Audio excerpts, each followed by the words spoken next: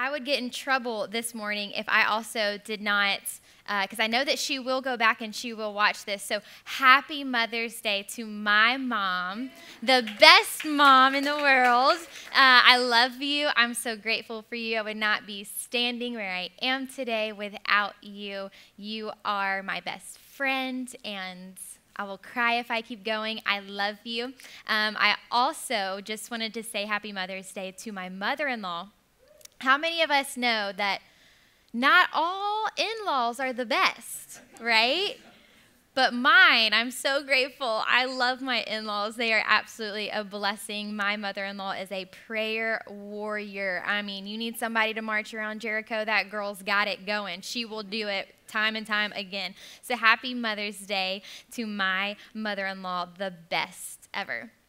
So as I was pre- preparing for my message today, um, I actually have a few. We have like a few uh, people who are getting out of college and were asking about some like job openings, and so I was looking for some jobs, helping them out, and I came across this this job opening. And I wanted to share it with you guys. It was for director of operations. Um, and the qualifications were it was 24 hours a day, seven days a week. Uh, you need to be able to draw. You need to be able to be a pretty good cook. You need to be able to be a personal trainer. You need to plan events, write, be able to teach too. You need to be okay with blood. You need to be a therapist, a motivational speaker, uh, a negotiator, a really good negotiator uh, a driver, a nutritionist. You need to be able to stand up most of the day. You actually don't get breaks, um, and you need to do it with a smile on your face without complaining. So, is there anybody in the room this morning that wants that? And I oh, forgot to, to mention the, the pay is well, there's no pay, it's just pro bono. So, is there anybody that wants that job in the room? You do. Great. All the moms in the room, I hope you raised your hand this morning because that is you. You do it all. You are the director of operations in your house. You wear many hats, and somehow we do it with a smile on our face, and it is by the grace of God. Can I get a good amen? Amen. So today is obviously all about moms. Um, I was praying a lot about this message, like Noah said. Um, it's really hard to get everything that motherhood is in 35 minutes, how do you do that? That's just impossible. Um, and so there's definitely a lot that um, I was thinking about, but I believe that what God has put on my heart today is um, what is right and what is for you guys. And so I'm really excited. But as I was praying, I know that there are a lot of different types of moms in the room this morning. I know that there are moms who are celebrating I know that there are moms in mourning. I know that there are moms who are waiting. I know that there are moms that feel like they're on the mountaintop. I know that there are moms who feel like they're in the valley right now. I know that we have people who are missing their moms. I know that we have spiritual moms in here, foster moms. I know the joy that is carried in this room this morning. But I also know the sorrow and the pain that is carried in this room this morning. And so, my prayer for, your, for you today and what has been all week is that no matter what life looks like for you today, I pray that you're reminded that God is a God of peace that surpasses all understanding, that He is a God that is near and He was for you, that He is a God of miracles and a God of power that He is a God who is good and He can be trusted. Women in this room, God is with you and He is for you. I want to remind you this morning that the Bible is filled with stories of people going through valleys, going through hardships and trials. But the hand of God and the favor of God never left their life. God is still at work. He is still the author. And so I believe that today He wants to speak to all of us in this room this morning, no matter what your life looks like right now, no matter what challenges are before you. I believe that God has a word for all of us in this room this morning. So, Jesus, I just. I ask that you would just decrease me, Father, and increase you. I pray for your word this morning, God. I pray for your truth. I pray for every mom in this room, every woman in this room who desires to be a mom. God, I pray for your Holy Spirit to just rest on us this morning, God, that we would hear your heart this morning and we would feel your presence, that you would do what only you could do, Father. I'm making room for you, God, that I may just be a vessel, God, for what you want to say. We give you praise and we give you all the glory this morning. And everybody said, Amen. Amen. So, about a year ago, I thought that I had being a mom all under control. That would have made Lion what, maybe barely even a year. Um, if you had asked me how being a mom was going, I probably just would have responded humbly and said, It's going pretty good. But on the inside, I thought I was crushing it, guys. I was like, I've got this. Like, I've got this down. I had one kid. He slept most of the day. He ate pretty much anything we gave to him. Um, he could barely talk barely walk. He was a late bloomer. He didn't walk till he was like 15 months old. So if you're in that stage, don't worry because then when they start, they don't stop. But we also had family that lived near us, which mean we had help when we needed with him. And so it was easy. So I thought. Uh, we could take him pretty much everywhere that we wanted to go. It was easy, breezy, beautiful cover girl, you know what I mean? But now, now I got two kiddos. They're only 19 months apart. My oldest is faster than me.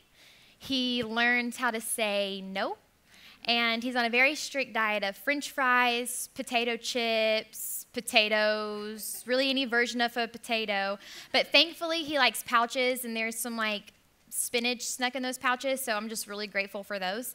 Um, we're on a strict diet of pretty much carbs right now. My daughter just started to walk like this week, which I was not prepared for because she's not even one yet. So that threw me for a loop. Um, she also keeps trying to eat the dog's food right now. I don't really know what that's about, but of course, it's only when I'm trying to cook and I have no hands. So I'm just standing there praying, like, Lord, just let this not be poisonous. Like, let it at least taste good. Maybe it tastes bad, so she'll spit it out. I don't know. But I have two kids that I, like Noah said, I'm trying to wrangle up every Sunday morning. I'm trying to get them clothed and fed, and I'm trying to get here, and I want them to be excited about getting here, which means I've got to be excited as well. And so, like he said, the sweat, you just got to let it roll off your body, you know what I mean?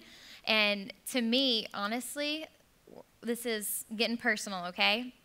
Today, I promise you I did it. Every Sunday, I, I do this, but it, it is a challenge to remember to brush my teeth after getting everything done that I need to get done with the kids, I'm always like, did I brush my teeth this morning? I think that I did. And I'll just, don't worry, I always go back just in case. And I do it. The funny thing is, is motherhood is just when you feel like you've got it, you don't. motherhood is just when you feel like you're in control, you're not. So I want to speak this morning to the current moms and the future moms who are like me, who want to be the best mom that they can be, but still fall short. I, be, I do believe that this applies to every person in this room, no matter what stage of life that you're in right now. When you can't control motherhood, when you can't control life, we have to focus on what we can control. There's a lot of stuff about motherhood that you cannot control but you can control pursuit of holiness in the home. And that's what I want to talk to you about today. It's pursuing holiness in your home. Is there a place that we spend more time in our homes? It could be just me, I guess. Maybe I need to get out a little bit more. That's part of working from home. But I think we all can agree that we spend a lot of times in our home. I believe that if you want to get the fullest, most accurate picture of a person, you do not watch them at work, don't watch them in public, not even in church. But you need to watch them in their home. Nowhere else does the heart overflow so easily than in our home. I believe that the home should be a holy place. Because when a home is a holy place, our kids learn to feel at home in holy places. Our kids learn to be at home in the presence of God. And the presence of God is where we have the advantage. During COVID, uh, Noah and I got super into watching movies and documentaries. I'm sure we probably all did. We thought at that point, um, you know, it wasn't going to last long. So I think we went through like every single show on our television in like probably two weeks. It was really bad. But one of our favorites that we watched was actually about Navy SEALs. We love like special forces. And so uh, we were watching this documentary on Navy SEALs, which to me I think is just so fitting because when I think about a mom, I'm like, they're the Navy SEALs of their home. Like, I'm giving myself, I'm like, that flex. I'm like, moms are like the Navy SEALs of their home. Uh, one of the things that I thought was super interesting was that a Navy SEAL, they're taught to retreat to water whenever they, whenever the fight isn't going well. Um, so they have to go through like rigorous training in water so that during a fight, it's actually in the water that they have their greatest advantage. In this one documentary, a Navy SEAL was sharing a story of a time that they were losing in battle really badly. And he just thought to himself, if we can just get back to the water, we can turn this whole thing around. The presence of God for a Christian should be like the water to a Navy SEAL. Are you in trouble? We've got to get to the presence of God. Are you worn down? We have to get into the presence of God. Do you need help? We've got to get into the presence of God.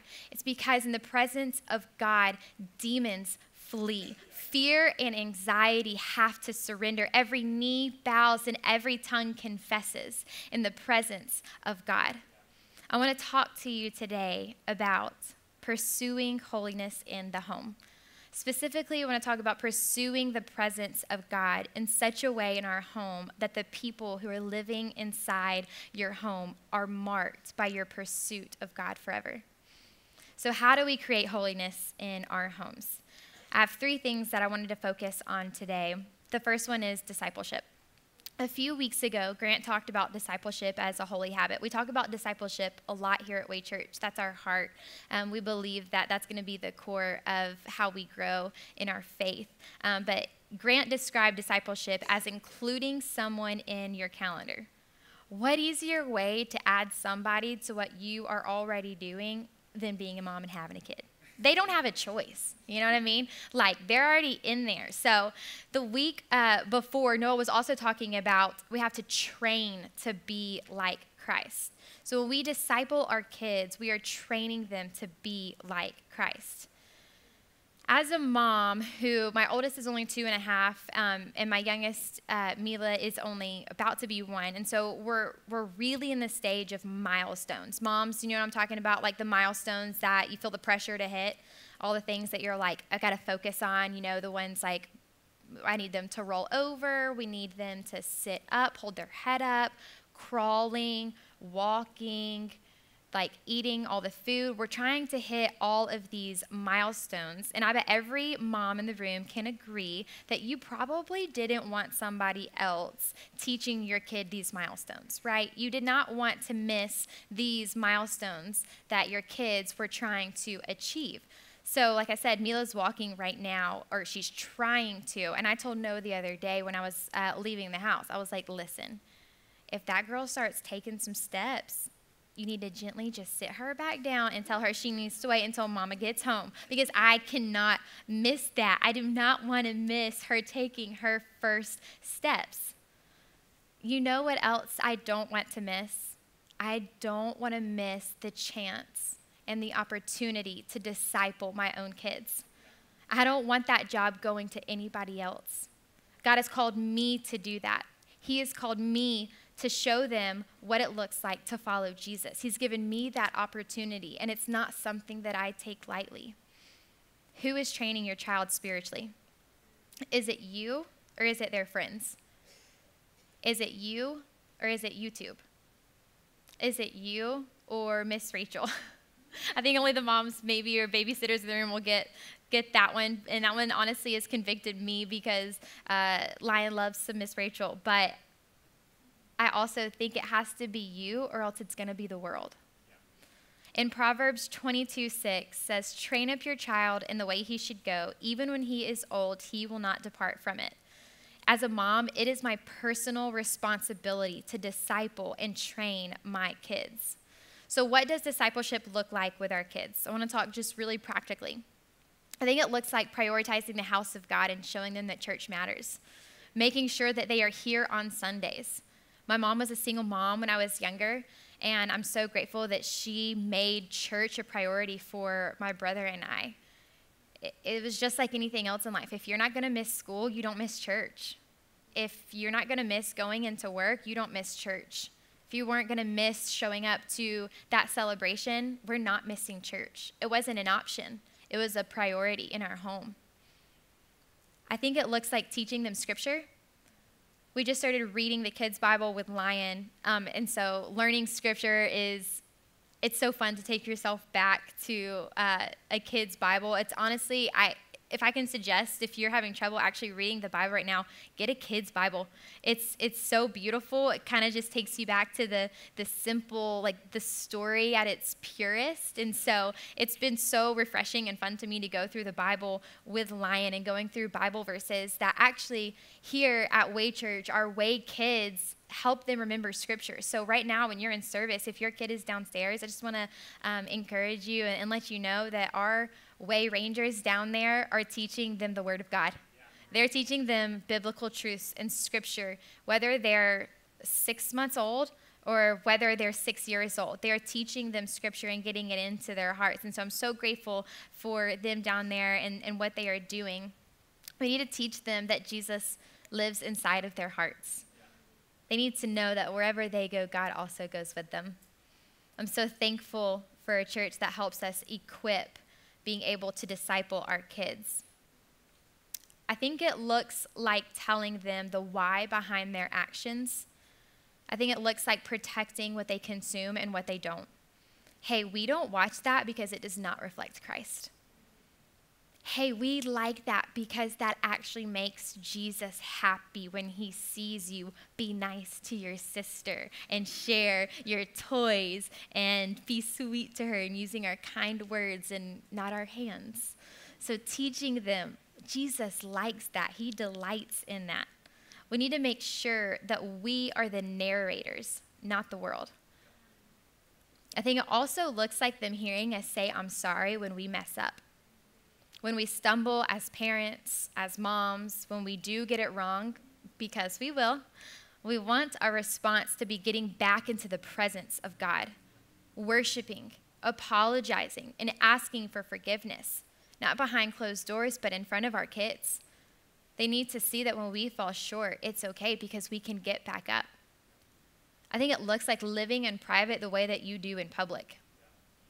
These little things, they start to add up. Little by little, you are training them up in the way that they should go.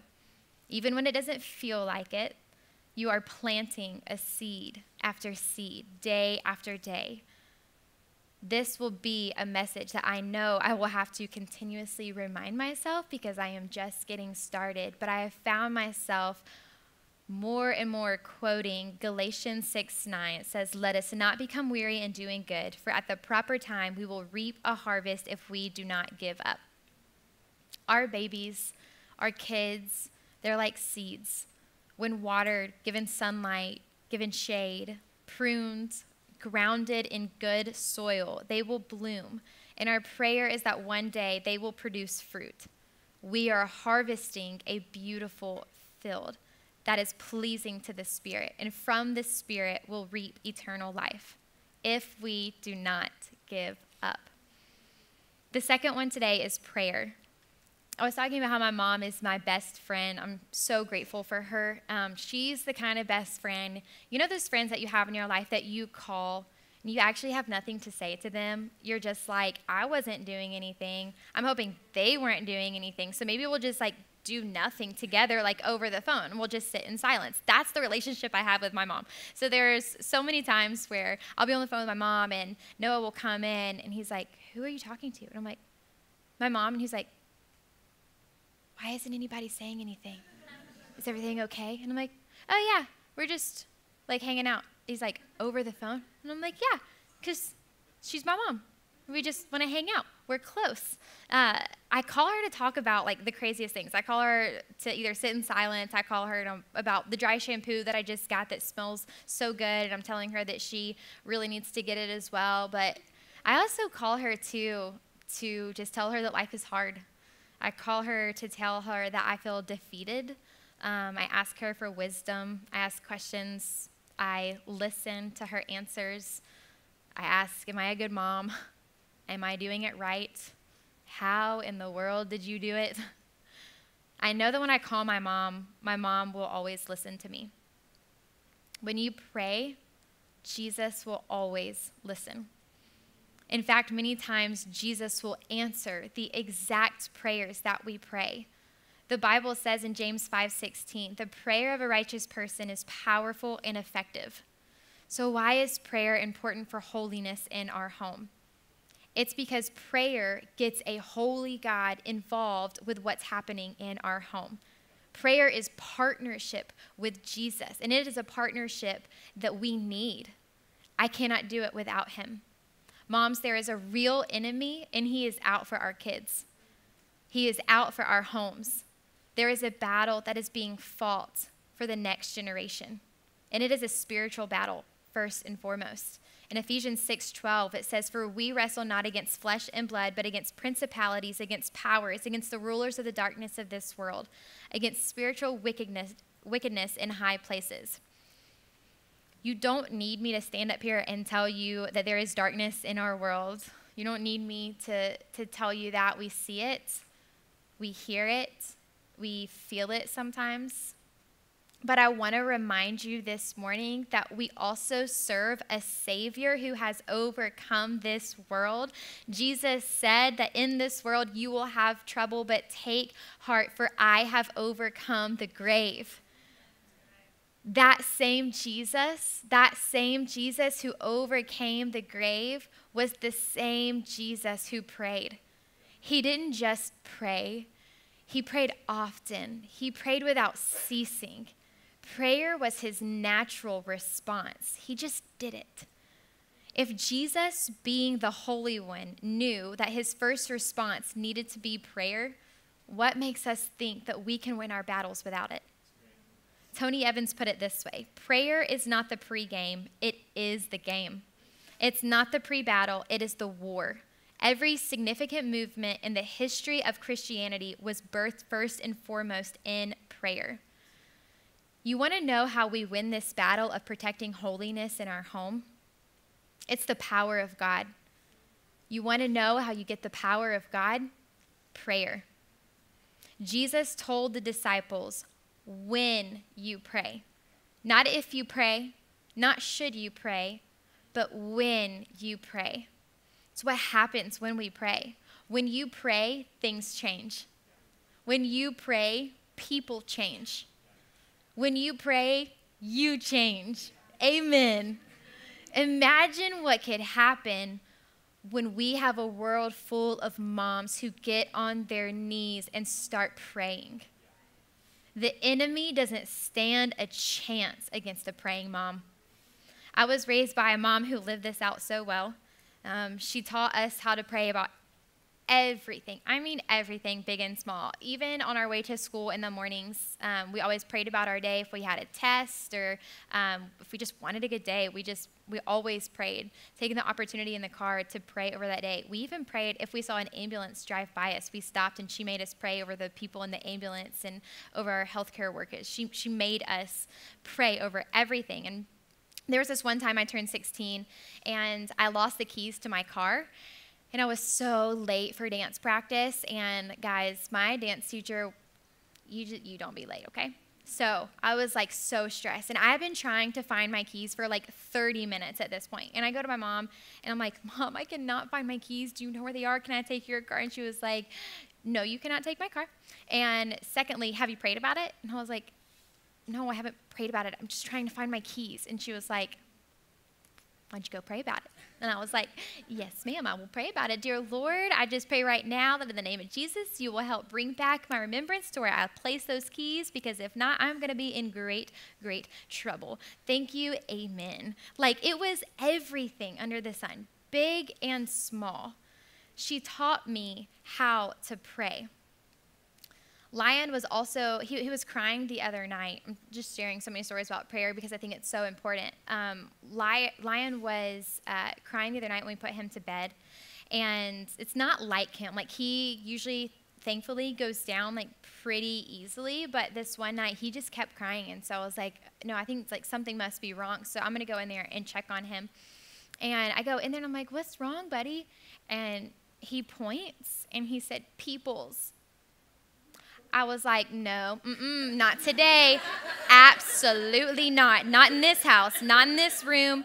Uh uh-uh. We rebuke it. Not today, Satan, not tonight. And so I was like, I don't play with that. I do not play with that. First, I want to tell you that whether your child is one or two, they are smarter than you think. The enemy is still after them, but they also have the presence of God on their life. I believe that He uses children in mighty ways. And so I am so attentive to when He looks at me and He says, Peoples are in my room. Not today, Satan. So you know what I did?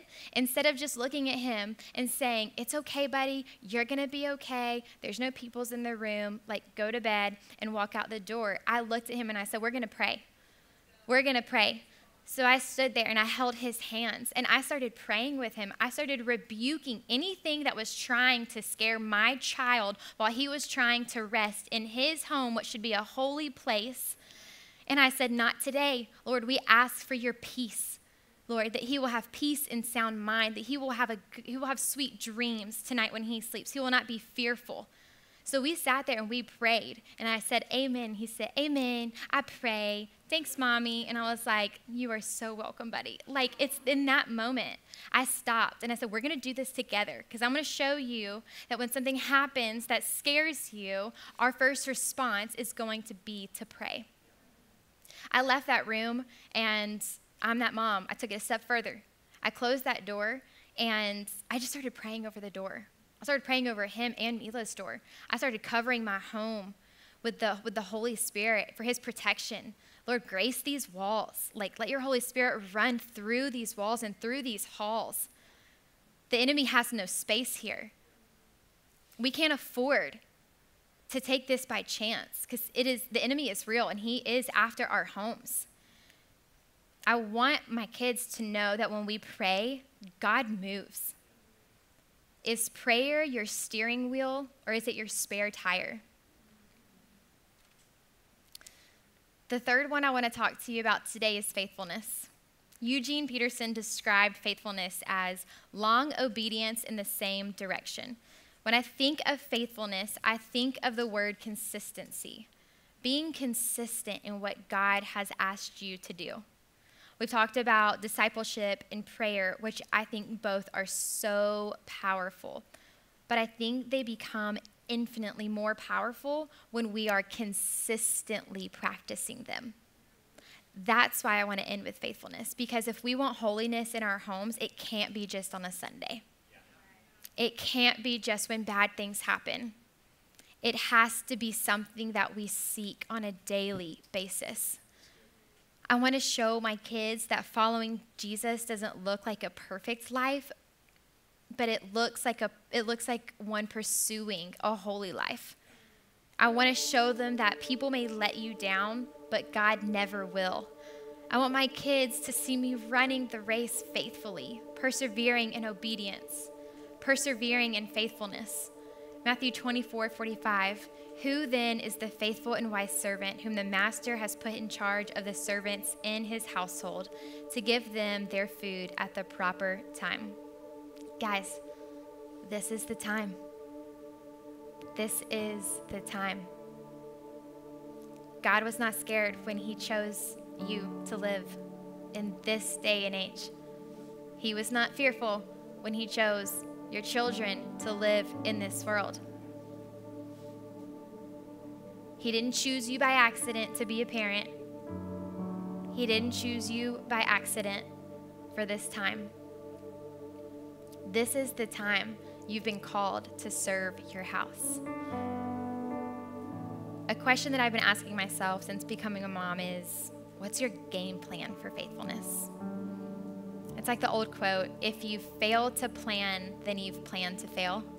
I love that quote. It's so true, especially since becoming a mom. There are so many to dos that I feel like I have each and every day. And I know that if I don't plan out my day, my day is going to look so chaotic. We have to make a game plan so that when life happens, it doesn't look chaotic, but it looks unwavering. What's your game plan for discipleship, for your prayer life, for obedience? What do you need to change in your calendar to end faithful? Maybe you're here and you feel like you've already blown it. Maybe you feel like a failure. Maybe you feel like a bad mom. I know what that feels like. You're not alone. But can I just speak a word of truth over you this morning? You might have failed, but you're not a failure. You might have done a bad thing, but you're not a bad mom. You might have made a mistake, but you are not a mistake. You might have failed at faithfulness in one season, but you can try again in this season. In 2 Timothy 2:13, even when we are faithless, he is faithful, for he cannot deny himself. You can keep going because Jesus has not given up on you. You can be faithful because Jesus will always be faithful to you. You can be the mom, the wife, the daughter, the son, the husband, the friend that you have been called to be because he gives you the strength to do it. Don't grow weary in pursuing holiness in your home.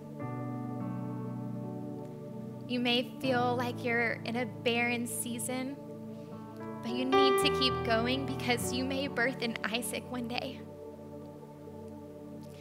Don't grow weary in pursuing holiness, mom. When it feels so overwhelming, wearing so many different hats, find your rest beside still waters. Don't grow weary in pursuing holiness in that home, even if you have no kids in the home anymore. God may be calling you to step into a season of being a spiritual mom to those who need it.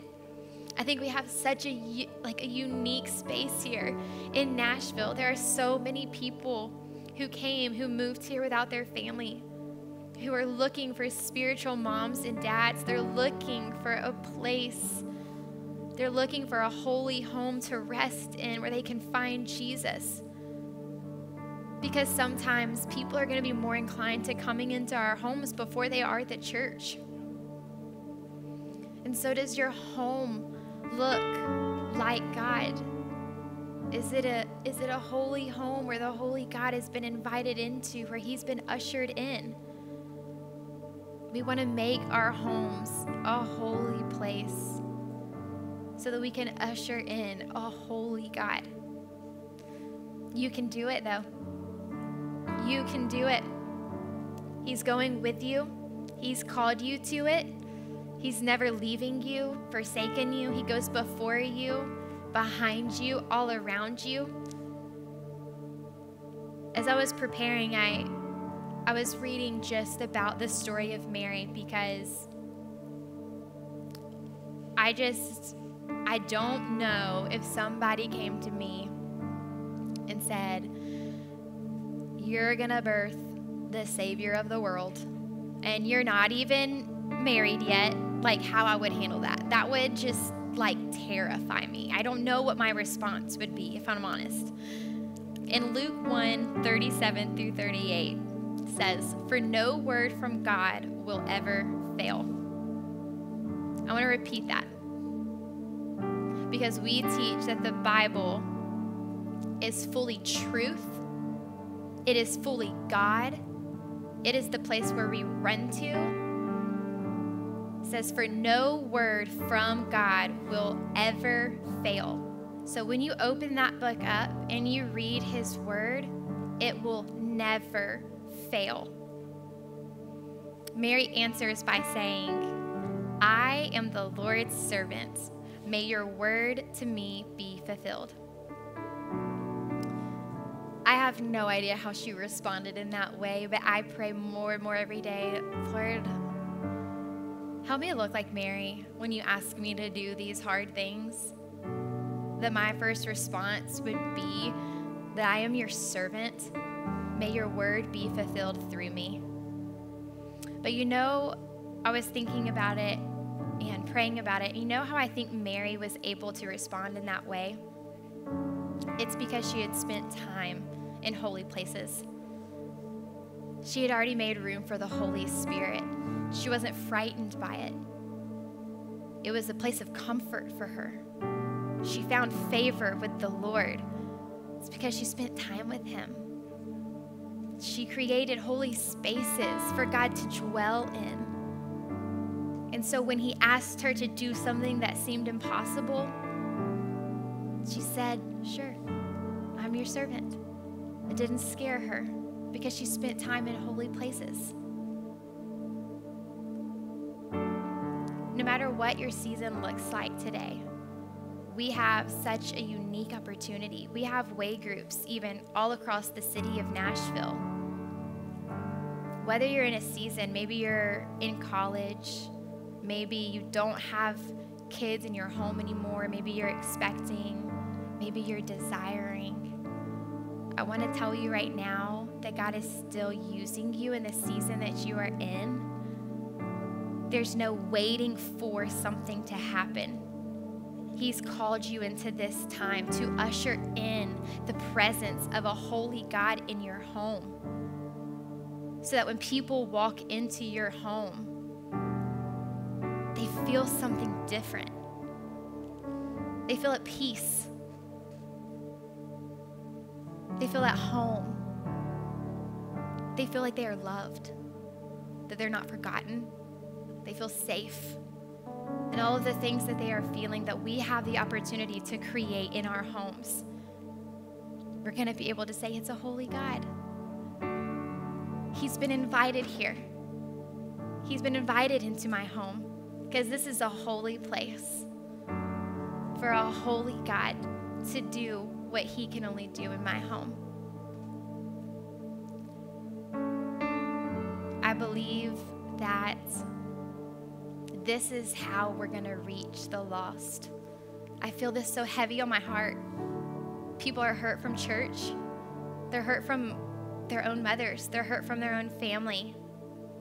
We have a, a world that's hurting right now. I think that we have the opportunity to invite people into our homes, into our holy homes. And we're going to be able to show them who Jesus is. I want to encourage you this message is for everybody. A holy home isn't just for a mom, a holy home isn't just for uh, parents. A holy home is for you, it is for all of you. So, do you want to make your home a holy place? A place where a holy God can live and dwell. Jesus, we thank you so much, Father, that you are holy. There is nobody like you, God. We serve a holy God. Father, I pray that as we seek to be more like you, as we seek your holiness, that you would make us look more like you, that we would look more like you, Father, that we would be able to usher in a holy presence. I pray for the moms in this room this morning, God.